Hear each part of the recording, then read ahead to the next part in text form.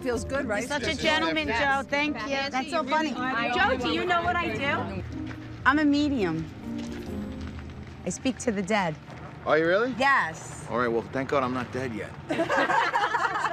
But when we came in and you were like talking to us in the um, car and everything, there was a father figure with you. Was it your grandfather? Yeah.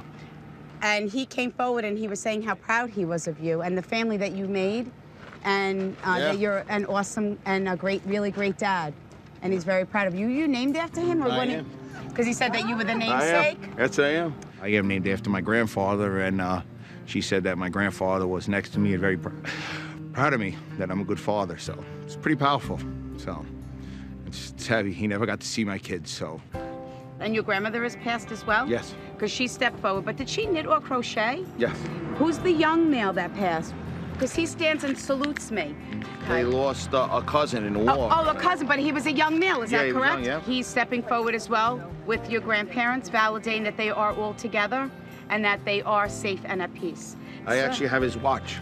Oh, This is amazing. see that? I've never believed in anything like that, and it was pretty, uh, pretty powerful. She pretty much had everything right, which was really scary.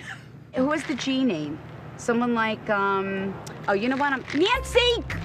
you know! It was her mother. We gotta get wine. Go get one, yeah. We gotta get Joe. We'll You all right, Joe? I'm all right. All right. I'm good. Thanks, Joe. Thank you.